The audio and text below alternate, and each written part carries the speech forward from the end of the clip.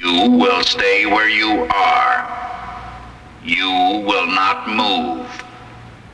We have some preparations to make, and then. Then something very odd happened. Half of Dr. Marlowe came alive. His right side first, his right eye lighting up while his left eye stayed dead. His right hand twitching while his left hand remained stiff. Half of him came alive. Only half.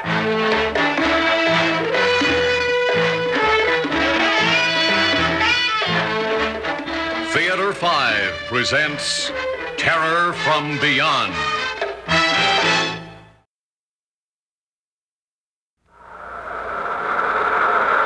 John! John Parker! Are you getting this, John? You've got to get it! I don't have much time! They'll be coming back in a few minutes! And try to get it, John! Try and remember! Huh? What's that? Did someone. Remember! Try and remember! Sir, you will not remember. Do you understand? When we are gone, it will be gone. As if it had never happened. And you will not remember. But you've got to remember, John! You've got to! The whole future of mankind, of life on Earth, depends on it! You've got to! I sat up in bed, listening. The surf was pounding at the foot of the cliff, but that was all. Had I really heard something or just imagined it? I didn't know. All I knew was I was in a cold sweat. But that wasn't surprising after what had happened, the deaths and... Deaths? But they'd been accidents. Maybe if I went back over it from the beginning, That's right, John! Start back at the beginning! Then maybe you'll remember! And you've got to! You've got to! When was the beginning? When I arrived at the base, I suppose. Went to the administration building for that first briefing session with Dr. Marlowe and Roy. Oh, it's good to see you again, John. it's good to see you, Doctor. Great to have you aboard, John. Did you mind our doing this? Pulling strings to have you assigned up here for a while? Are you kidding? You said it was something interesting. We think it is. As interesting and important as any space work that's being done anywhere today. I know. We'll be putting a man on the moon in a few years, but if we're to go on from there, one of the things we should know is what we're likely to find. In other words, whether there's intelligent life anywhere in the solar system. That's why I hated leaving the old project. You haven't. this is still part of the old project. Uh, remember what our problem was on Vango? Of course. A radio telescope can pick up any message from out there that might be beamed at us, but it's sometimes very difficult to tell precisely where it's coming from. Exactly. Well, we're using a technique here that'll take care of that. A light beam rather than radio waves. You mean a laser? Mhm. Yes, yes, we discussed that. We've already hit the moon with a beam no bigger than a pencil, but suppose you do establish a contact, how do you get your feedback, your response? Well, we believe we've solved that problem, uh, theoretically at least. But we needed an electronics specialist to work on it with us. That's why we requested you. When do we start? Right away. Uh, by the way, you're sharing a cottage with Roy. Now, why don't you go on down there with him? Drop your luggage, we'll get to work. The work. I remember that. Weeks of it. Finally, the big night. The night of our first test. It was clear and cool. The ocean still, not thundering, but whispering at the base of the cliffs as if it were waiting. All the stars sharp and clear like signposts on the road to the infinite. Dr. Marlowe at the computer, Roy and I at the center console. T minus two. Check. By the way, Doctor, I meant to ask you before, what made you pick Deimos as our first target? Well, it was a few weeks after you left the project. We got a message from there. No. Well, there was some question about it, John. First, as to whether it was really was a coherent message, and second, as to whether it was from Deimos. The British got a fix on it, too. And it was on the hydrogen wavelength, the one we always said anyone out there would use. That's true. And even though we never got another one, I thought it was worth exploring further. Of course. But that's fantastic. Yes, it's an exciting prospect. But it's also a rather frightening one. Why do you say that? We're reaching out, John. We're getting close to the secret of matter, the origin of life, the mystery of the universe. Sometimes I become a little afraid. Afraid that we may stumble onto something that's too much, too big for us. T minus 10 seconds. Check. Power on. Give me a reading, John. Vector 9, 18.2 and steady. Time. How long to contact? Three minutes, 28 seconds. We sat there tensely, watching our instruments and the clock. Then, There it is, the feedback. We've done it. The trick now will be to maintain contact. Uh, wait a minute. What's that? it sounds like a pattern. Listen, even numbers. Now odd numbers. Great Scott, do you think we've got something? Follow it. Follow it. Start with an even series.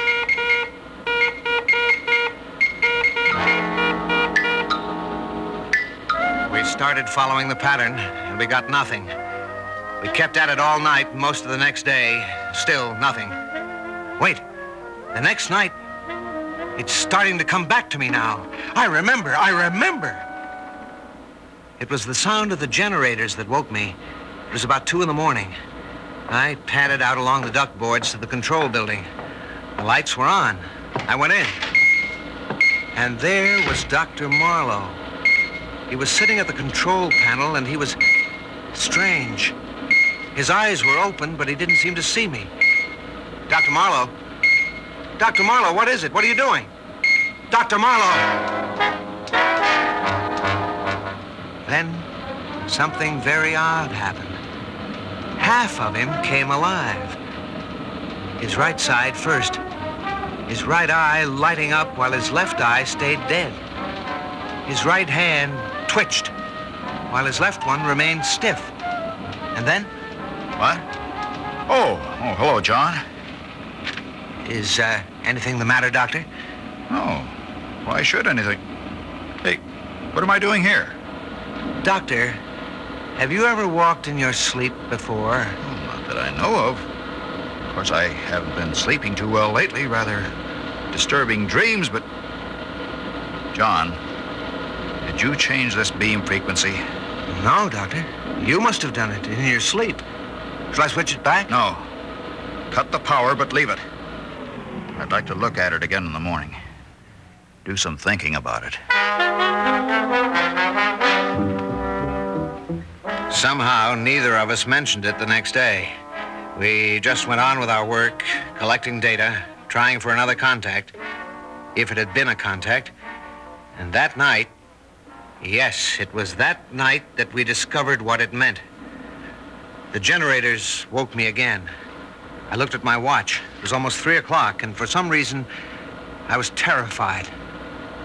The door of Roy's room was open. As I went by, I saw that his bed was empty. Then I was walking along the duck boards to the control building. The lights were on again. I looked in through the window. Dr. Marlowe was at the panel as he'd been the night before with that same dead look on his face. And Roy was standing in front of him, talking to him. I could hear him through the window. Dr. Marlowe. Dr. Marlowe, what is? Is anything wrong? He's asleep. Walking in his sleep. Better get John. He started toward the door. Then, apparently deciding he'd better not leave the generators on, he turned and went toward the master switch. And as he did, Dr. Marlowe moved. His face still dead, expressionless.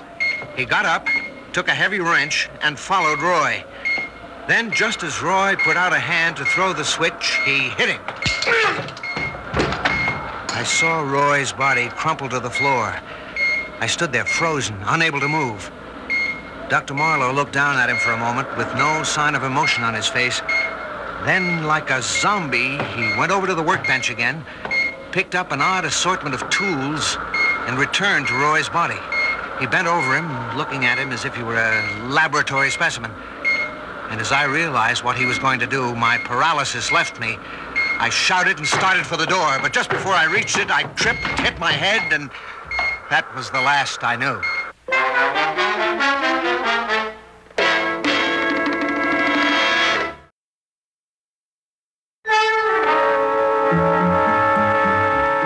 I'm not sure how long I was out, but when I came to, I was lying in front of the door and a dark shape was bending over me. John, what happened? Keep away from me. Don't touch me.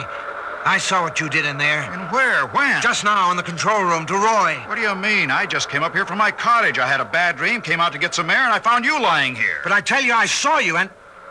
And what? I must have imagined it, dreamed it, because I thought I saw you kill him.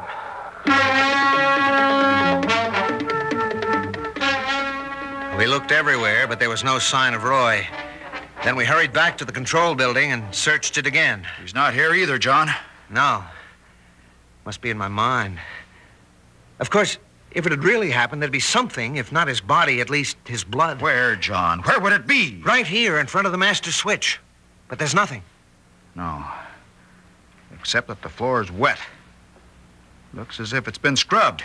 Hey, you're right. John, did you change the beam frequency this way? No, Doctor. You must have done it just the way you did last night. Last night? You mean something happened last night, too? You don't remember? No, no. Tell me what you thought you saw happen tonight, whether you believe it or not.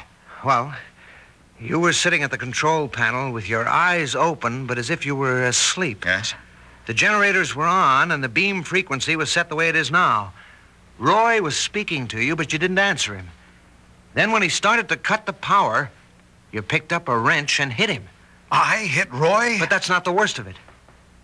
After that, you picked up some tools and bent over him as if, well, as, as if he were a laboratory animal. Telling you about it now, I know the whole thing's mad. It's impossible. I wonder. You mean it could have happened some way? Without your knowing it? In the old project, and in this one, we've been listening for messages from out of space, trying to determine whether intelligent life exists anywhere in our galaxy. John, if it did exist, what form would it take? Well, it wouldn't necessarily look like us with two arms and legs. Exactly. And suppose it existed in a totally different form, in the form of electrical energy. Electrical energy. Why not? Isn't that the way the brain functions, giving off electromagnetic waves? And what do we know about Deimos? Suppose, suppose living beings existed there in the form of complex electrical charges, and a channel were suddenly opened between it and the Earth. Our laser beam. You mean they could travel down it, take hold of someone, you, I'm then... speculating, John.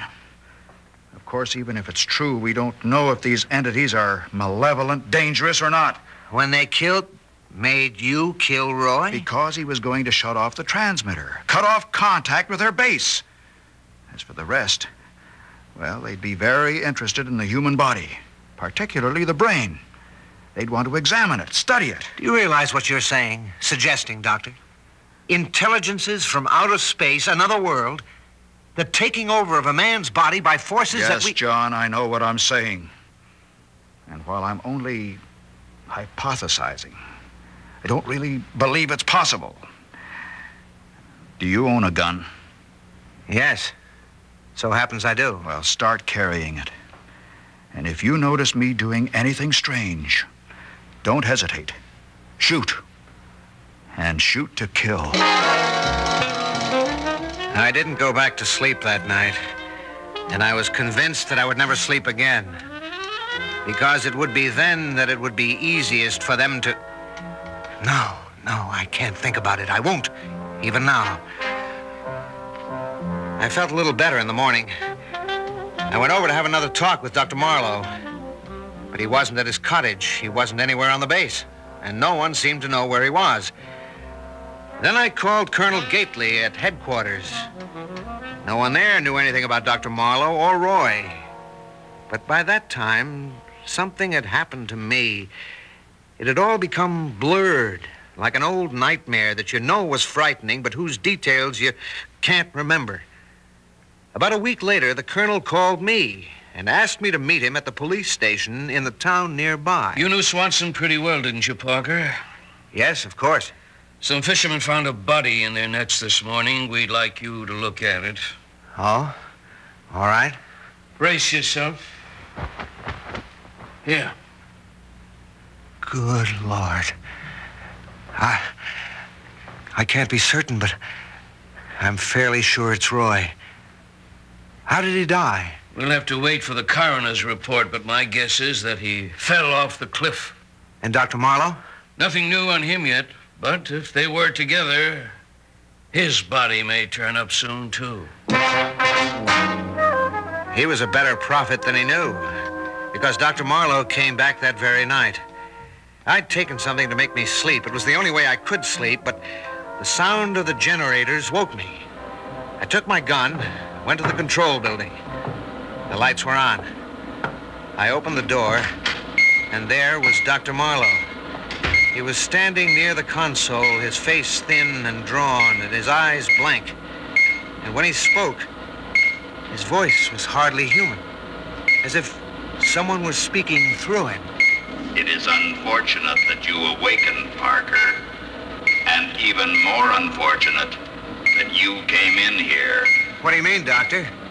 Where have you been, and why are you talking so strangely? We have been looking over your planet, studying it and its life. Particularly, you so-called humans. We have found it very interesting. Now, we are ready to go. Go? Go where? What? You said we. Dr. Marlowe, have they... You will stay where you are. You will not move. We have some preparations to make. And then... Her voice, that horrible voice, broke off. And Dr. Marlowe swayed as if he were about to fall. I grabbed him, held on to him. And then his eyes changed, came alive.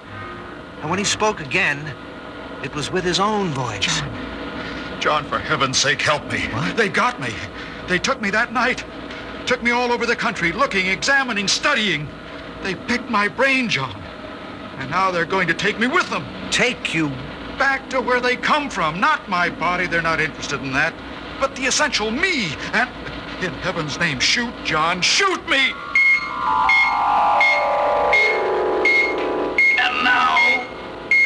Ready. Look here. At his eyes. Look closely. Yes. Like that. As your friend told you, we are taking him with us. But you will not remember what has happened. You will remember nothing. Do you understand? Because someday we may come back. I stood there, frozen, holding Marlowe. Suddenly, he broke my grip, pushed me away. Walking stiffly and mechanically, he went to the door, opened it, and went out along the duck boards to the edge of the cliff. Then, without hesitating, he stepped over the edge and disappeared. Now do you remember, John? It's all true. They exist.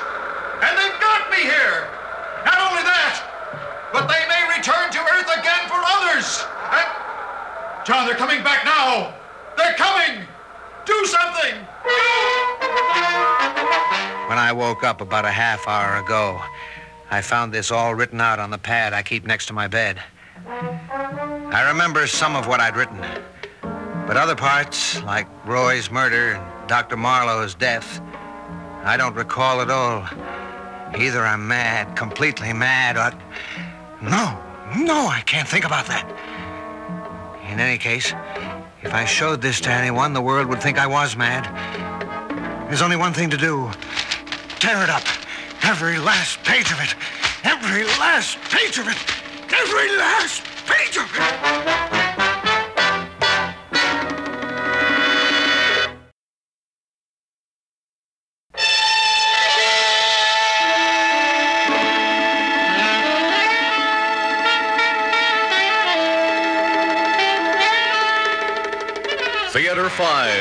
Presented Terror from Beyond.